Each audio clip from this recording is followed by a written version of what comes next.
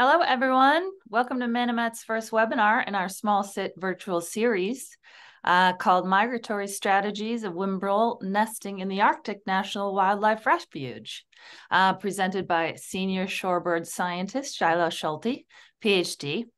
Uh, I am Gina O'Rourke, Manomet's Senior Director of Marketing Communications. If you are new to Manomet, a little background on our organization. We use science and collaboration to strengthen bird migration routes, coastal ecosystems, and working lands and seas across the Western Hemisphere. And if you're a friend, volunteer, trustee, or donor to Manomet already, then thank you. It's really only with your support that we can continue to get our boots muddy, doing hands on science in collaboration with local partners. And speaking of getting muddy, just a couple of housekeeping notes for today's webinar. Uh, we welcome your curiosity, so please tip, type any questions you have into the Q&A box, and Shiloh will be happy to answer them at the end of his presentation. Uh, the chat, chat section we can reserve for comments or any tech issues you might be having. And now I'm going to turn it over to our Vice President of Science and Manomet veteran, Stephen Brown, PhD, to introduce Shiloh. Floor is yours, Stephen. Thanks very much, Jean. Welcome to today's webinar, everyone. We're delighted to have you here. This seminar is part of our science webinar series where we explore how Manomet science and that of our partners is, is being applied to all sorts of critical conservation issues. And we really appreciate your spending some time with us today. Today, we're going to be hearing from Dr. Shiloh Schulte. As Jean said, he's our senior scientist in our shorebird science program. And Shiloh started working with Manomet back in 2002. And aside from a short break to go and get his PhD, he's been with us ever since. In that time, he's led the American Oystercatcher Recovery Initiative, which is one of our very most successful shorebird recovery efforts. And he's also joined the Whimbrel team and is leading the study in the Arctic, which contributes overall to the, the goal of guiding effective conservation by trying to identify where and when populations are limited. He'll be sharing some of his fascinating and critical findings with us today, and it's my pleasure to introduce Dr. Shiloh Schulte. Thanks, Stephen. Uh, thanks, Gene, and thanks everybody for joining us. This is a great turnout. I'm going to go ahead and share my screen. I'm going to rely on you, Gene, um, to tell me if it's not working. Sure thing.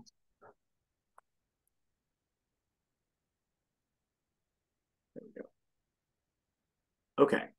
Um, so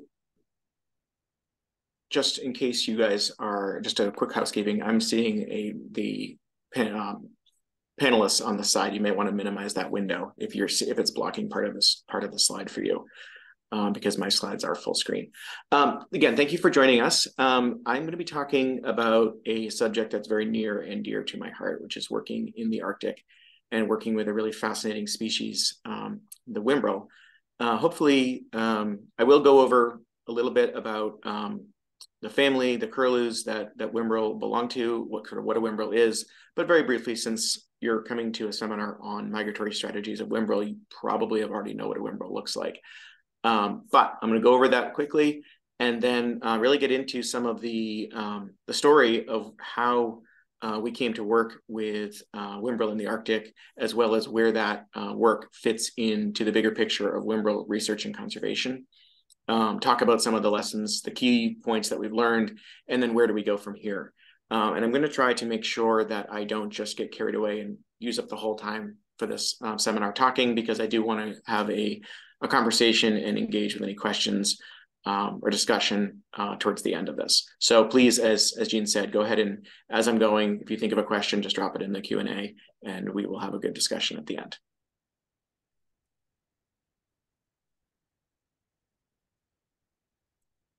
There we go. Okay, so curlews are a um, are large shorebirds, long curved bill. Those are the characteristics that you can identify a curlew fairly easily. Um, there are worldwide there were nine uh, curlew species. If you look on um, some sources, they still say there are nine because two, the slender-billed curlew and the Eskimo curlew, have not officially been declared extinct, but there have not been records of either of those species in a long time, and they're currently believed to be extinct. Um, and this is relevant because of the seven remaining species, um, most of those are also uh, threatened in some way um, or in, in decline. Um, so it's a very, uh, it's a beautiful um, species group. It's really fascinating and, and also under a lot of threat. Um, the threats, if for those of you who have been paying attention to bird conservation will not come as a surprise. There's habitat loss, climate change, oil spills, development, predators, hunting, disturbance. Um, there's more, but those are some of the bigger ones. Um, there's micro, lots of you know contamination and and, um, and issues at um, at some of these stopover sites that aren't listed here, but um, those are sort of the primary drivers of threats. And then we need to address those survival threats as well as habitat loss. Um, and so to do some of that, we need to do some research on uh, estimating what the survival rates are and the breeding success so we can model the um, the different what different aspects of the life cycle are are most important and where our conservation um, can be most effective. Um, so these two species I have seen on the screen here, um, the whimbrel on the top and the long-billed curlew on the bottom are two of the more um, widespread or at least more, um, let's say common, but uh, native to North America. There's also the bristle-thighed curlew um, in the in Western Alaska that just comes into uh, just comes into this continent, and the rest of other species are uh, in Europe and Asia primarily, as well as um, Australia. Um, so specifically talking today about the whimbrel, um, Numenius phaeopus hudsonicus, so it's the Hudsonian whimbrel um, in North America, and then there's the Eurasian whimbrel, um, the corresponding species in um, in Europe and Asia. Um, then this curlew is mid-sized. Um, if you hold it in your hands, you'll see pictures. It's about the size of a football. Kind of feels that way. Same color even. Um, um they are a long distance migrant, and that's sort of the interesting um, aspect of a piece of this work that we'll really be talking about today. And as I said, it's one of those curlews that's in decline, um, and the Western Atlantic population, and specifically, is in rapid decline. That's the that's sort of what you think of as the Atlantic flyway um, but the um, the population that moves down down along the, the uh, Western Atlantic as opposed to the Eastern Atlantic, which is Iceland and um, Ireland, Europe, um, and Africa. But this is the Western Atlantic population in, in, decline. And then these critical needs that we are seeing right now are to map these locations um, where the birds are are migrating, breeding, and wintering um, for the different populations, so we can and not just like big picture, but at a fine scale, what the locations are, what the needs are at those sites, and then what the risks are specific to each of those. And then, as I said, to estimate survival and breeding success um, to to model that those that species um, life cycle and identify where we can have the greatest impact. Um, so a little bit of background on on Whimbrel tracking. Um, there actually has been a fair amount of work on using GPS and um, uh, other satellite um, tracking of whimbrels going back as far as uh, 2008 um, in Georgia uh, with the Georgia DNR um, started tracking whimbrels as along with work uh, with College of William and Mary in Virginia and started to um, to just to figure out what the the pathways were for the species that were the, the individuals that were using um, the southern Atlantic and central Atlantic coast uh, in the fall and the spring. Um, and then uh, in a similar time frame, a little bit later, um, this work started in Alaska um, with USGS and U.S. Fish and Wildlife Service Alaska tracking whimbrel nesting in interior Alaska, and then again on the on North Slope, uh, sort of the central and western part of the uh, North Slope of Alaska. Um, and then further on, further there's work um, again with College of William and Mary um, and DNR um, connections working up in in northern Canada in the Mackenzie River. Um, and um, at Manomet, um, we've been partnering with these organizations and then started um, a, a, work on the uh, Cape Cod looking at uh, juvenile whimbrel migration and survival, which is a uh, an aspect of the life cycle that's very difficult to uh, understand. It's very hard to get your hands on a juvenile whimbrel and uh, learn something about it. And so that's something that um, that Brad Winn and Alan Kneidel started, and I've been helping with, um, and now is um, expanded is expanding into a bigger program um, to uh, to really try to understand what's happening with juvenile whimbrel um, in southbound migration all the way up to um, when they return to breed several years later, um, which is an interesting and, and, sort of challenging missing piece.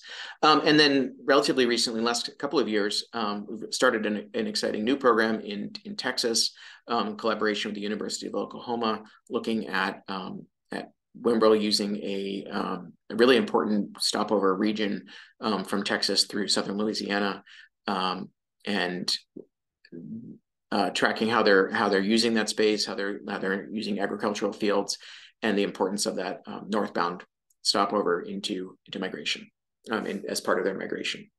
And so, um, what these tracking studies have done is allowed us to map um, large scale pathways for um, uh, for that whimbrels are using.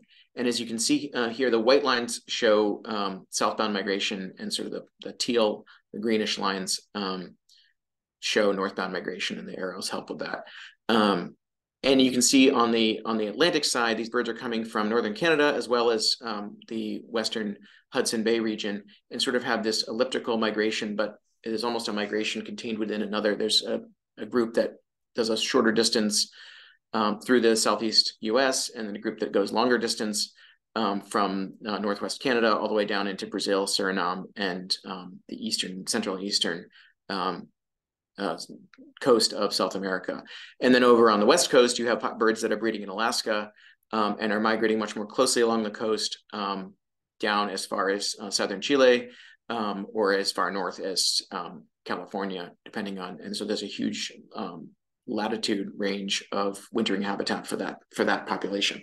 And so this is this has all been um, mapped for with devices that um, going from some GPS devices and some that are less accurate, but um, at, a, at a local scale, but very accurate at a large scale. Um, and so we're really starting to, we really have a pretty um, good picture of the large scale uh, mapping of, of whimbrel movement from all of these studies that have happened over over the last um, couple of decades. And so you might be asking at this point, well, this is a lot of a lot of time and effort and tracking, and you guys have some really cool maps. So why are we still continuing to tag um, put out tags on on these birds?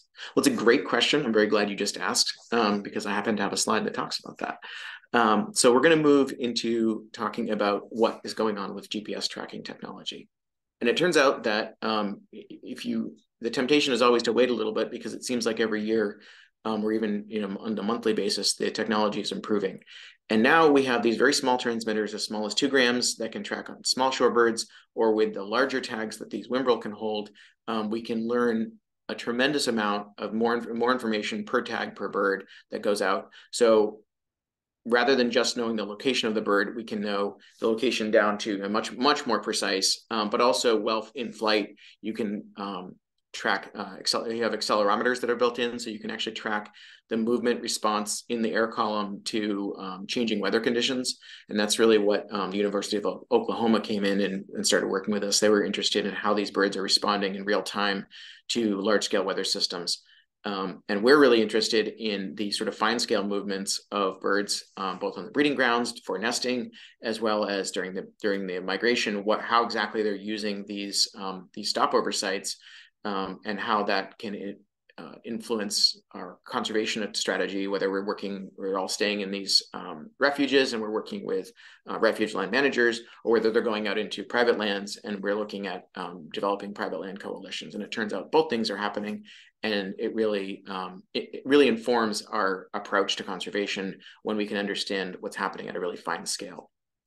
Um, and then with these newer tags, you can get these um, really uh, incredibly detailed data, not just from you know one one location every day or two, but you can get locations every 15 minutes or even more frequently than that if you need to um, and then get near real-time connection downloads from Argos satellites and, and cell towers. And so we're, we are, are able to understand what these birds are doing at a much more granular level, which allows us to do things like track nesting success remotely with um, with GPS tagged birds, and um, as a, you'll see, a few other really interesting um, elements come out of this uh, come out of this work. Um, so let's jump up to what we're talking about here. Um, I've given you that overview, but we're going to talk about what we're doing in the Arctic. And that blue star um, on Alaska in the upper left-hand corner of your screen is shows the location of the Arctic National Wildlife Refuge. It's on the north uh, east corner. It is the northeast corner of Alaska. Um, and specifically, mostly we're talking about what's happening on the Arctic coastal plain um, from the Brooks Range north to the Arctic Ocean. Um, this is a breeding site for Whimbrel um, this this open tundra habitat is um, what they're looking for um, in this in this area for for breeding. Uh, it's a very short breeding season.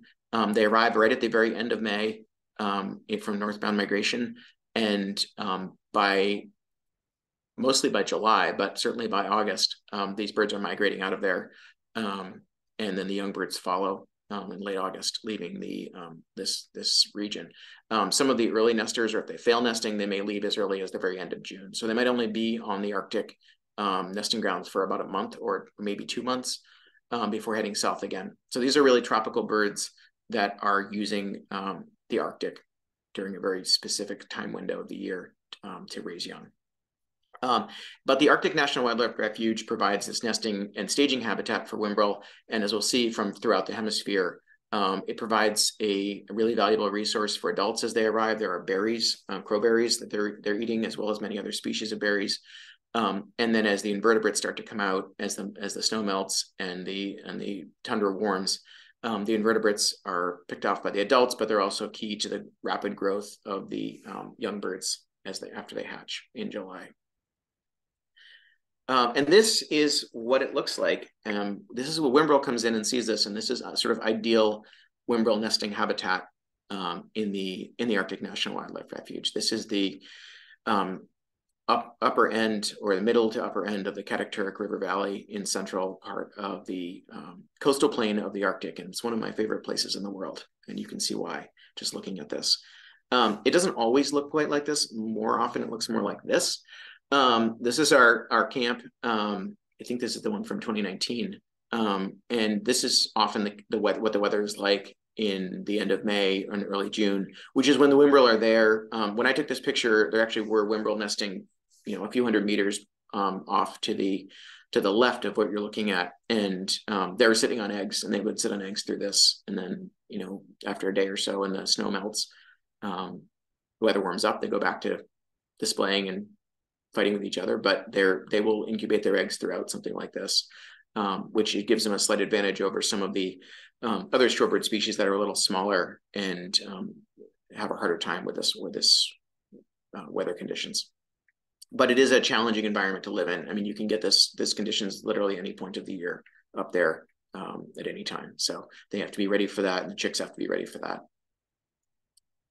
Um, uh, and the reason we were up at that site actually was not to, to study Whimbrel. Um, this was in 2019 when I um, when we first started looking at this. Um, Manomet and the U.S. Fish and Wildlife Service, um, Alaska, um, collaborate on Arctic research and have done so for many years. Um, and the reason we were at that site in the in the refuge was to conduct these PRISM surveys to monitor dis distribution and abundance of nesting shorebirds. and bonus points if anybody wants to guess what that shorebird species is, unless I already showed you this picture before. But if you want to throw in a, a guess in the chat or the or Q&A as to what that shorebird is, I'll tell you at the end. Um, but we were looking at uh, nesting shorebirds um, to, to, and this is a long-term program um, to understand how um, the distribution and abundance is changing over time um, throughout the Arctic. Um, it's done by the Canadian um, Wildlife Service Environment Canada, um, the, the, Fish and Wildlife Service collaborates with Manomet, but in the US, um, we essentially have to raise funds each year to um, conduct those surveys as opposed to having it be funded by a federal agency. Um, but we are we have been successful in doing that so far, and will continue to be to, to attempt that. Um, but these are it's a challenging survey, as you can see from the picture below. Our our Uber is a little different than the usual one you'd you'd get. Um, you have to travel by helicopter to do these surveys um, because the distances are vast and there are no um, points to land uh, with a plane um, for most of the sites we go to. Um, so you're you're traveling by a very small bubble with a, a spinny thing on top, um, traveling around in the middle of nowhere in northern Alaska. It's again one of my favorite things to do. We were also there studying shorebird nest survival and predation pressure um, as well as tracking other shorebirds to understand local habitat use and migration migration pathways. So while we were there at this field site, we had these three different projects going on, and I said, well, why don't we add a fourth one? Um, because there's not enough to do. We have at least three hours in the day that we're not that we're still sleeping. We could do something else. Um, so so what happened is on one of my days off, um, while we were in that project, and the way it works is you have four people, but only three of them can fit in the helicopter in a given day. So the fourth person rotates out. And so, of course, I spent the day wandering down the, the valley looking for shorebirds um, and um, found some. And this in particular was a uh, was very exciting because the uh, the species that I, I heard was a whimbrel, and and whimbrel are patchily distributed. They're very typically very hard to find. And when you do find a pair, you may not see another one for a long time. That's sort of the, the, the understanding. Um, and so when I heard Whimbrel, um, make sure this is actually going to work. Oh no, I can't get this to work. Um, give me a moment and I'll figure it. I'll get this get this to play. It was working perfectly yesterday, of course. Um, but I heard Whimbrel in the calling in the valley, so I spent set out to try to find some, or try to find them. Um, I don't know why this isn't working. Um, apologies. I'm actually going to stop my screen share for a second and go back to it.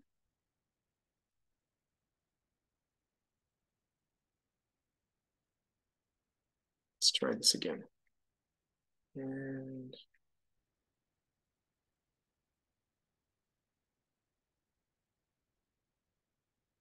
hmm.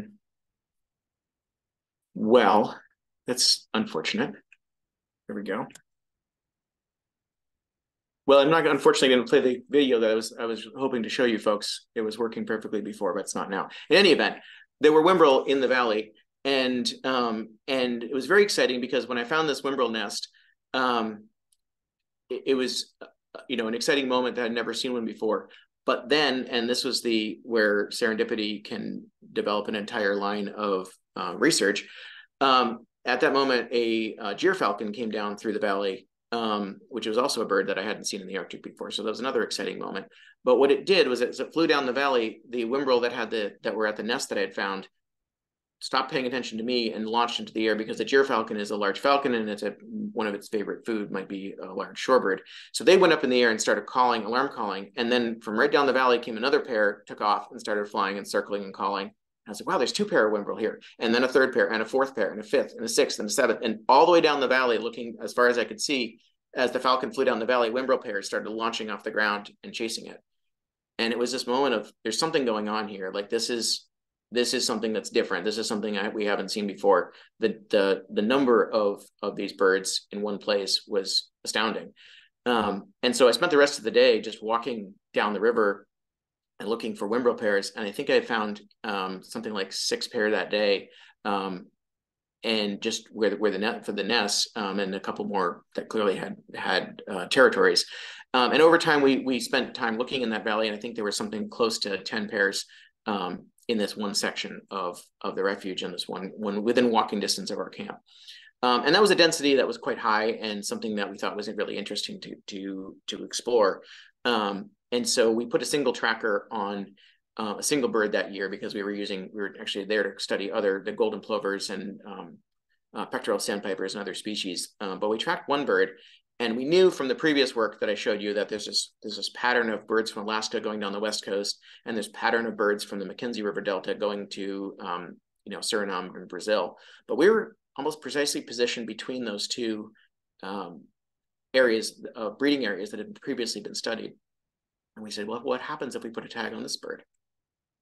And so we, you know, we we caught a bird, we put the tag on, um, and we tracked it. And look at this. This was the direct the pathway for the first um, the first Whimbrel that we tagged. And it flew, it flew east. So this was a bird from Alaska, and all the other ones had gone down the Pacific coast. But this one went to the Hudson Bay. And then it spent about a month in the Hudson Bay, southern Hudson Bay region, and then it launched. And over a period of, I think, four and a half days, it flew. They didn't actually stop here in the Maritimes. This is just a cluster of points, um, GPS points while it was flying. It flew right over the top of that, out over the mid-Atlantic, and then uh, down into Brazil. Um, and that was the that was sort of this critical this this moment where we you know saw something different happening in the Arctic refuge. Um, so this was 2019. We got really excited and said, okay, we're going to start a um, a program here. We'll go back next year and we'll we'll tag more birds and it's going to be very exciting. Now remember 2019. So 2020 comes along. Let's just say we didn't go back to the Arctic that year and go and go study birds. We wanted to. There were a couple things you may remember that happened that year that made that difficult. Um, but in 20, 2021, um, we were still under COVID restrictions and there were still challenges and problems, but I was able to get back to join a, um, a Fish and Wildlife Service team um, that was doing a small camp, and we had to go through a whole series of rigorous protocols to get in there um, with with these COVID precautions. But we were able to to at least do an initial sort of expanded year of study um, uh, in the uh, in the Katakturuk Valley and um, tagged several more birds, and we are able to expand again in 22 and 23 um, with to to bring the the sample size up to the the point that we wanted to. And in 2023, we actually went to a different valley, the Jago River Valley, and um, just to see if something different was happening there. And so we were able to end up um, uh, catching and uh, monitoring uh, close to 30 uh, birds from the Arctic so far. Um, and here is uh, what we found.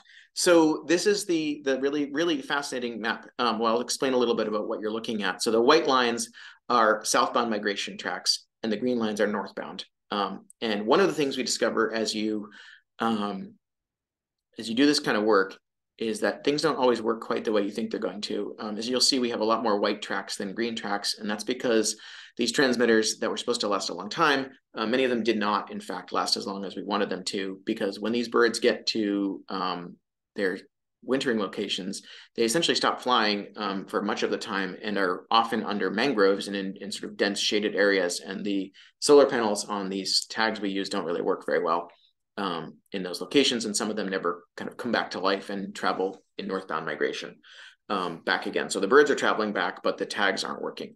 Um, we're using a different kind this year that's had much higher success, but we don't have the northbound data from the, for them yet because we just put them on this summer. But we're optimistic that this will get a lot more northbound data um, this coming year.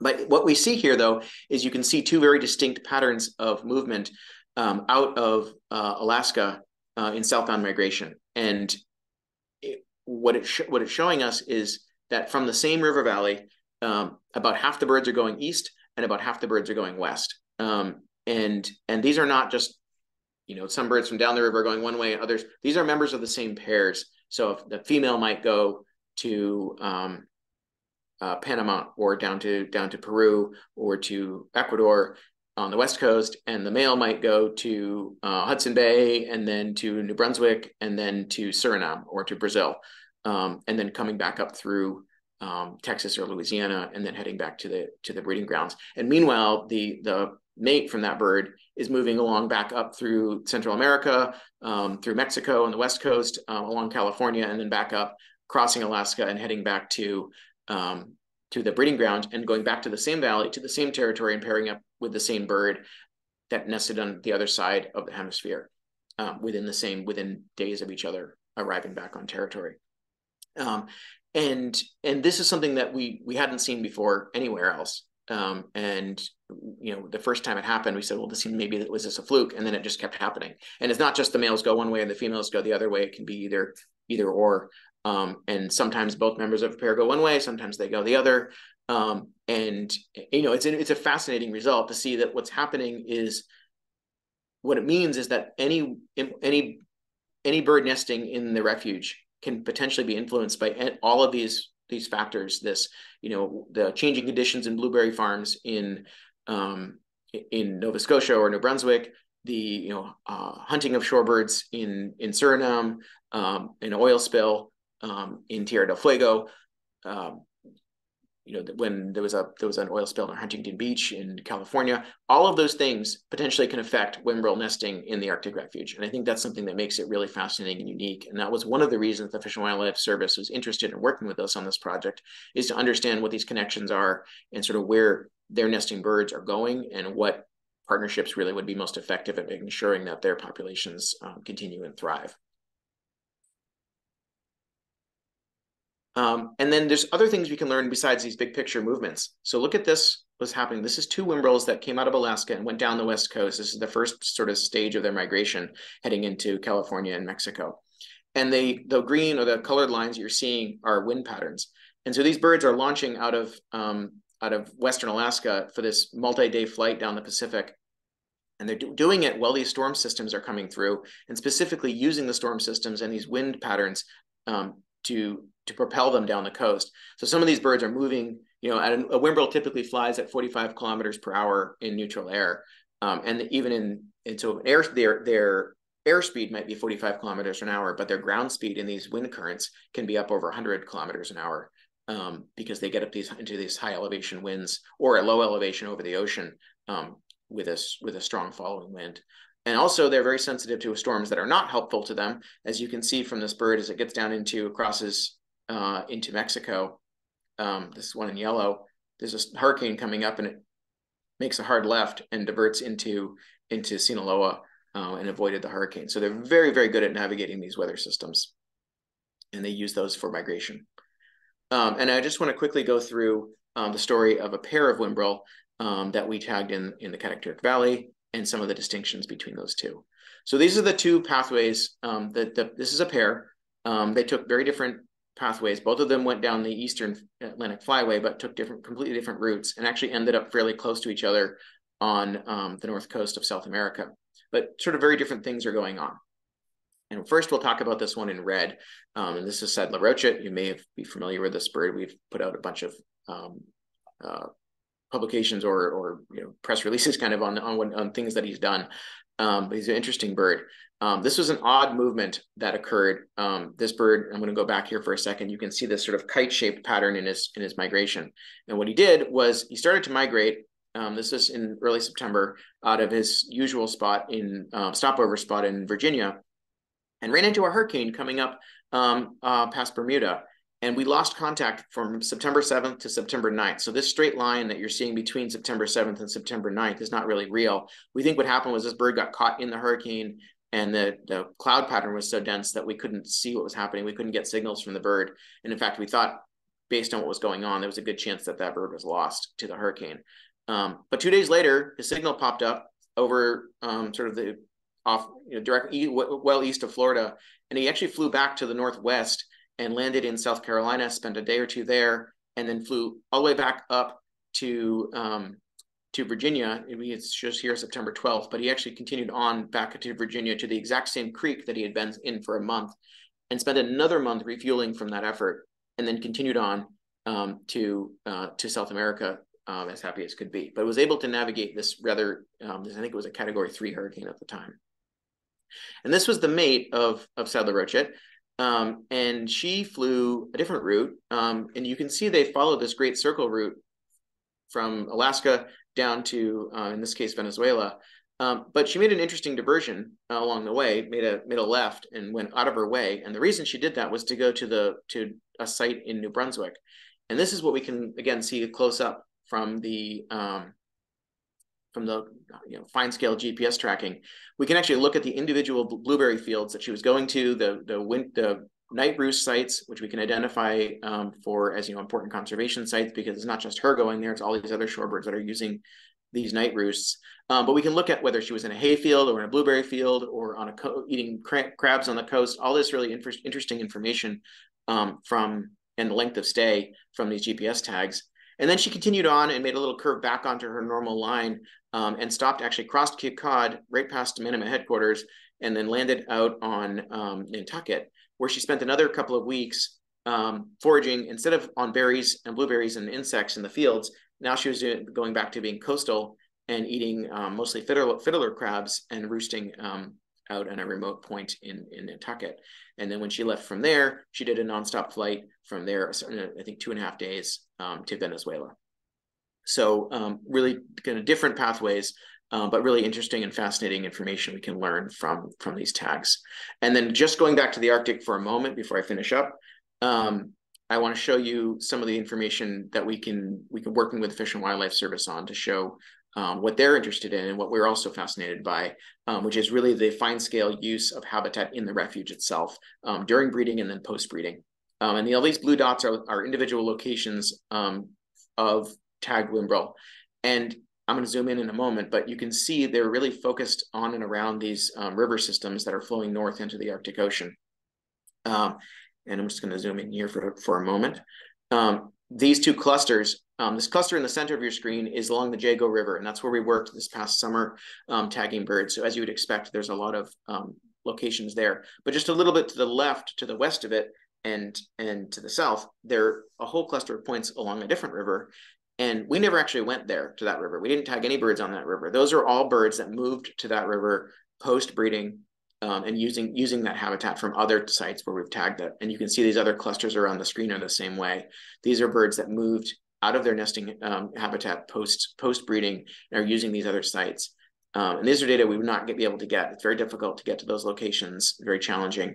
But um, when with these tags that we're using, we can start to map um, again habitat use at a larger scale in the refuge and the in understanding the importance of these um, these tundra river systems to uh, to Whimbrel. And then um, so these key findings um, from the work so far, the Whimbrel are nesting at relatively high density in the Arctic National Wildlife Refuge, specifically along riparian habitat, and they're using adjacent upland habitat uh, for foraging, um, which is critical for breeding success. Um, we now know because of this tagging work that Whimbrel are migrating from all over the hemisphere to nest in the refuge. And as I said earlier, these factors that are affecting survival um, in the Atlantic, Central, and Pacific flyways are all relevant to birds nesting in the refuge. And so as a result, this local population in the Arctic National Wildlife Refuge can tell us a lot about what's happening with um, Whimbrels in North America. And so what are we doing next? Uh, we're going to continue this study. Um, and we have um, some, some funding for work for next year and hopefully for a couple of years after that um, to map. We're going to be using these um, this tagging work to map breeding sites and habitat use um, to understand site fidelity, like how frequent, how, what's the probability that a, bird, a tagged bird will come back to um, the Arctic National Wildlife Refuge and to the specific location, um, and then how that varies um, breeding, migration, and wintering sites from year to year. Uh, and then importantly, one of the things that we're really focused on doing is to estimate nesting success, not just in this one location, but across the Arctic, um, using nest monitoring devices in combination with the tracking data. So we have a lot of birds that we, for example, that we've tagged in in Texas that are giving us high quality data from other sites throughout Canada and other parts of Alaska. Um, but we need this on the ground um, nest monitoring information to be able to verify and ground truth what um, we think we're seeing with the remote data. Um, and we can use these data as well to estimate survival of breeding adults. And finally, to build a po Whimbrel population model, which will help guide and focus our recovery efforts for Whimbrel in the same way um, that we've been able to do that with the American oystercatcher and, and show success with that species. And there, I think I'll leave it for the moment and we'll jump to Q&A. Great. Do you see the Q&A questions in the... I'm going to pull it up right now. Uh, great questions. Are, this is awesome. This is going to be fun. Um, okay, so I see a few questions here. Um, why is it so difficult to catch a juvenile whimbrel? Um, so the art of catching a bird is all about knowing where a bird is going to be. If you know exactly where a bird is going to be at a, in the future, you can probably catch that bird. Um, and so if a bird has a nest, and you have the right kind of equipment and trap to catch the bird, and then to, you can you can fit it out with the bands and the and the tag. Um, that is the hard part of that is is really understanding where the finding the nest. Um, they're very good at hiding them. But a juvenile whimbrel doesn't have a nest. Um, we can't we can't put tags on them when they're tiny in the Arctic because they're too tiny. Um, and by the time we can, they they can fly and can get away from us.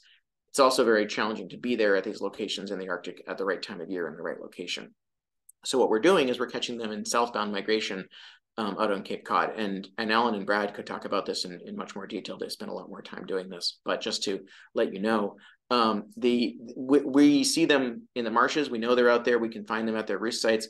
But it's hard to get your hands on one um, because you need very, very um, the trapping is, is a challenge. They're very widely dispersed. There's about 50 Whimbrel that use the Outer Cape in fall migration and it seems like maybe a lot they're spread out over a large area and actually putting finding a, a, finding where they're going to be getting an effective trap into that location and then getting the bird into the trap and then into your hands is a really significant challenge um, and requires a lot of a lot of planning a lot of work and a lot of scouting to make that happen um, as well as a lot of experience on the part of the the people doing the work. So um, it's hard but it's something we've been able to do and um, hopefully we'll be able to be more successful as as we expand the, pro the program.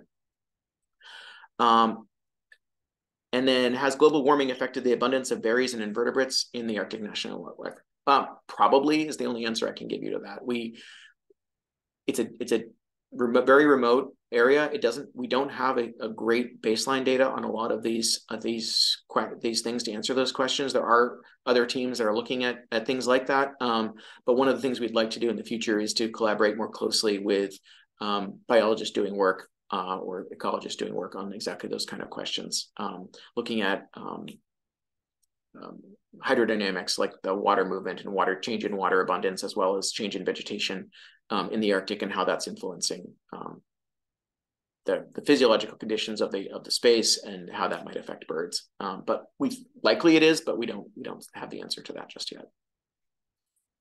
Uh, Dan Sarl says, uh, does an individual bird always take one migration path or another each migration period, or might a bird go Hudson Bay route one year and the Pacific Flyway the next?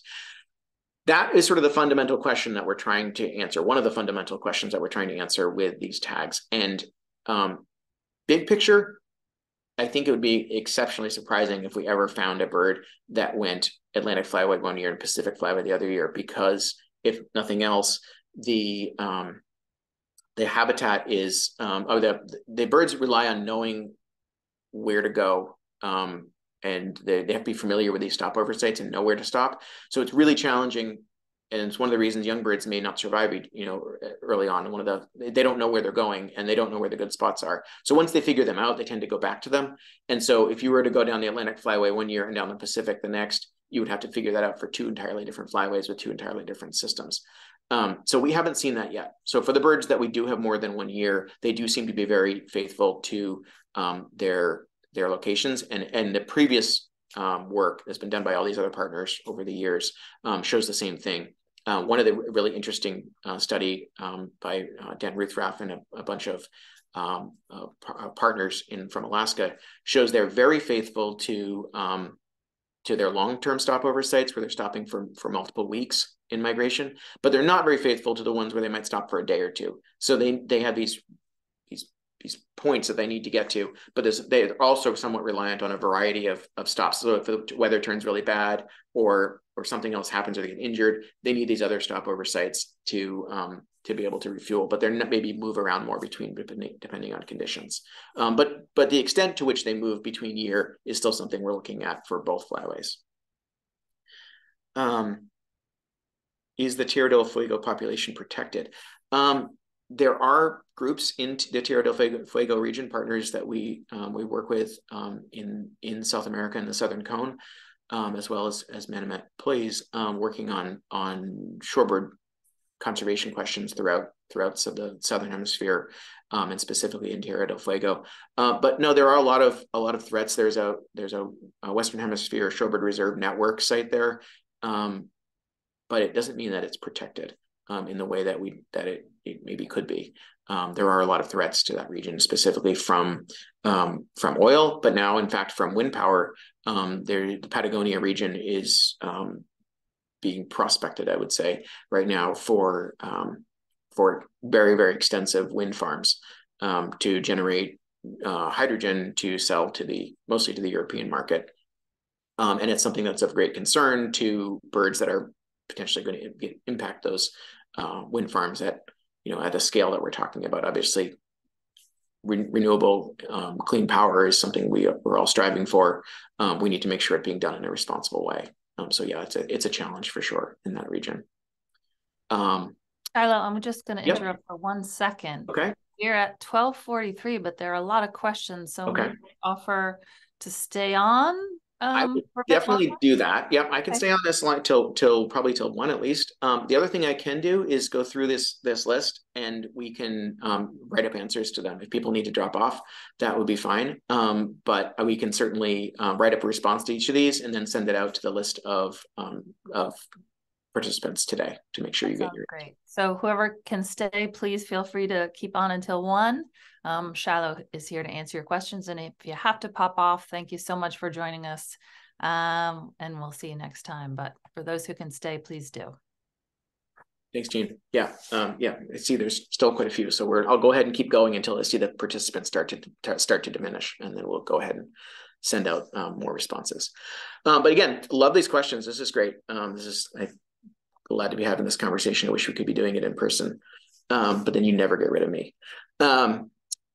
Uh, let's see, does uh, weather dependent, but how in general, how long does southern migration take? Um, so at it can take, yeah, it varies quite a bit. Um, but the the adults will leave the breeding grounds um, maybe say the middle of July, um, and they're going to be getting to the to their wintering sites sometime um, around the end of August um, to early September, typically. Although on the West Coast, it can take longer.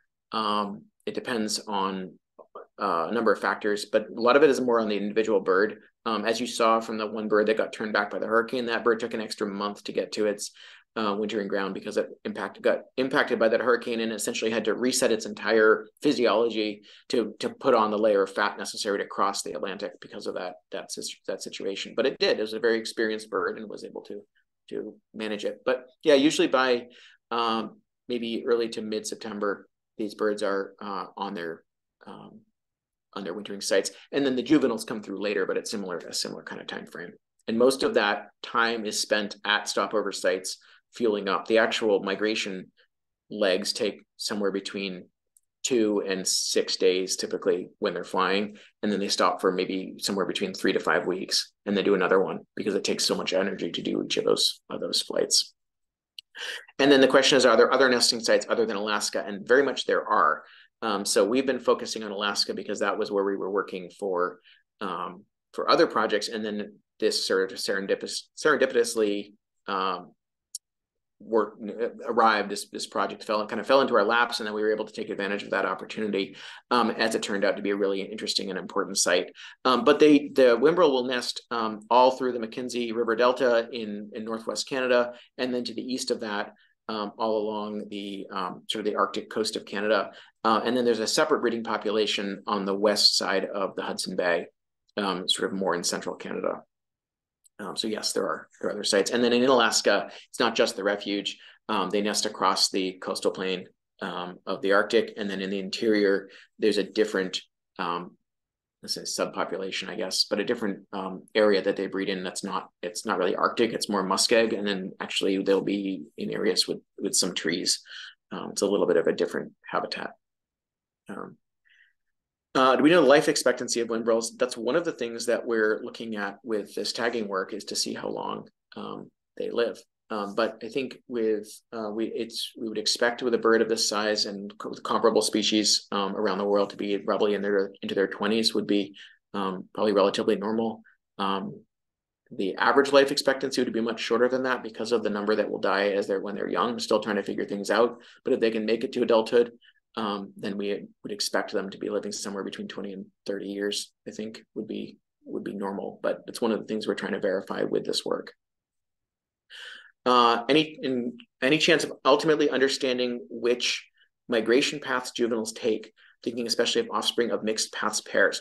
This is a great question. This is immediately what came to mind um, when uh, we saw that, let's say, you know, one member of a pair went east and one went west you know this is great. But there's the there's this idea that there's a genetic component to um, to migration because the parents are not bringing their chicks with them on these migration paths right? Their their chicks are growing up they start to become self-sufficient they're eating on their own and the parents just leave. Um, in fact, the females typically leave within one to two weeks of the chicks hatching. The males will take care of the young longer. But even then, once the chicks are just about ready to fly, the males migrate and leave. And now it's just juveniles hanging out in the Arctic together. And they've got to figure out how to get from there, from you know east eastern northeast Alaska to Chile or to Suriname or to Brazil on their own. Um, and so there must be some, and this is true for other shorebirds as well. It's not just whimbrels doing this. Um, they must know there must be some sort of programming and genetic programming to, to go a certain way. Um, fly for three days in this direction until you find fiddler crabs and then stop you know like something like that. But um, but what happens when one parent goes east and one goes west? And we don't know the answer to that.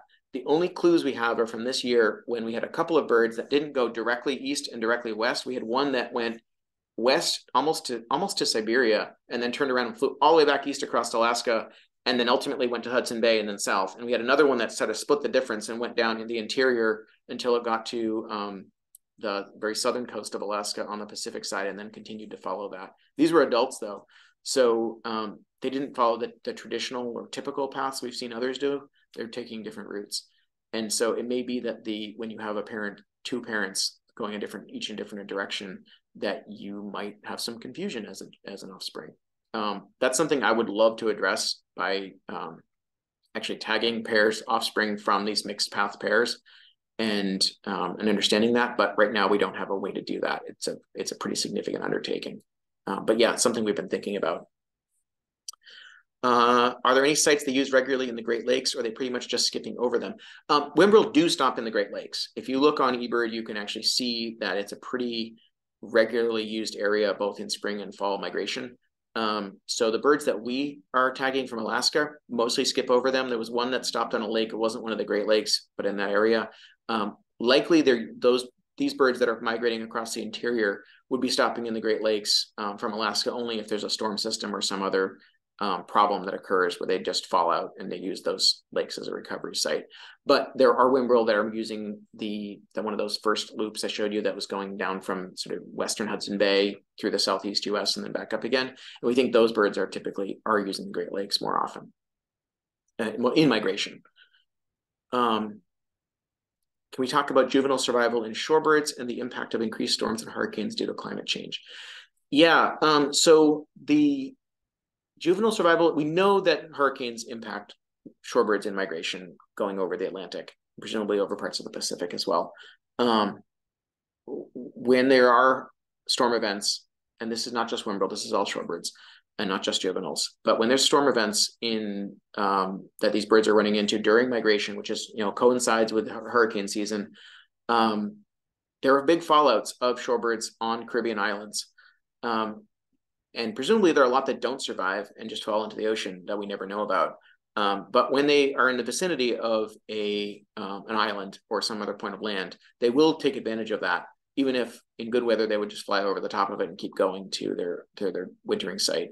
Um, and so it's great that those islands exist. Unfortunately, on some of those islands, um, the, this is a known phenomenon, and these birds are actively hunted um, and they know that when a weather system like that comes through, there's going to be a lot more shorebirds that fall out, and then um, there's there's a, a lot of hunting pressure on on these birds during that time. Um, so uh, it is a it is a significant problem both from the actual increase in frequency and intensity of storms themselves, which is regardless of human acti- other human activity, that is a real and significant problem. And then it's compounded by this hunting that occurs during storm events. Um, so there are, there are people there's a there's a whole you know sub working group on this right now but it's definitely an area that needs more more um, support and conservation is is dealing with the challenges of hunting. And then in a big picture um, you know as a species we need to deal with climate change and those impacts. But yes they would they would have impacts on juvenile and adult survival for shorebirds um, these are all these are great questions. Um, what other bird species benefit from protecting Whimbrel breeding areas, wintering areas, and migration stopover locations? Um, well, their Whimbrel share these um, these sites with a lot of other species. Um, so, for instance, in Texas, um, where we're doing a lot of uh, work on northbound migration stopover sites, um, some of these rice fields that the Whimbrels are using um, are we've counted I think 22 shore species of shorebirds in a single field. Um, and the dominant species are Whimbrel and uh, greater yellowlegs, lesser yellowlegs, but the the number of different shorebird species is quite quite. I mean, you name it, and and they would be overlapping with Whimbrel. Um, so it does make this species a um, particularly valuable um, species for for conservation uh, because of the carryover effect. Uh, is the banding in Wellfleet done annually, and how long does that bend, banding window last, and when is it? Um, so mostly annually. There's uh, it's it's specifically focused on on primarily on when the um, the juveniles are moving through, which is the very very end of August, but really more into early September uh, until the end of September. So there's a two or three week window. Um, the middle of September, that's kind of the best for it, um, and it just depends on where the birds are um, when they're when they're coming through that particular year, as well as the funding and, and resources. We're looking at probably expanding both the um, the scope and the amount and the, the time that we're out there because it's not just banding. We're also um, looking at, at roost site monitoring um, trying to count how many birds are using the site as well as understand what habitats they're using and how that changes um, as the birds are moving through. We're hoping to look at um, the, um, the islands nantucket and, and martha's vineyard as well because the birds are also using that region. Yeah, we can certainly share the link on um, publications. Um, this project, we're still um, in the process of developing um, publications because we're still collecting data. Um, but we will be, we certainly have uh, story, um, you know, blogs and stories and, and updates from the project that we've shared through the Manomet website and through Manomet um, social media and newsletters and so forth. Um, but we can certainly provide links to those um, as well as other relevant publications that are that from from associated projects. Um, and then when when we do have publications from this particular project, we certainly can share those. But yeah, they're all on the Manomet website. But I'm sure, Jean, you can we can do a yes. follow up with with links that are relevant. I just put one in the chat as well. Perfect.